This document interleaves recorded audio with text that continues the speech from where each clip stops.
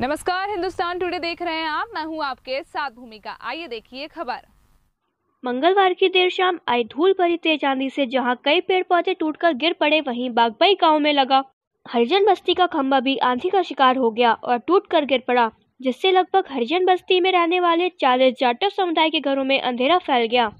एक और दिन में पड़ने वाली तेज धूप और कोरोना वायरस को लेकर पूरे देश में लगे लॉकडाउन के दौरान लोग घरों में ही कैद हैं। ऐसी स्थिति में बिजली न मिल पाने के कारण लोगों की दिनचर्या भी प्रभावित हो गई।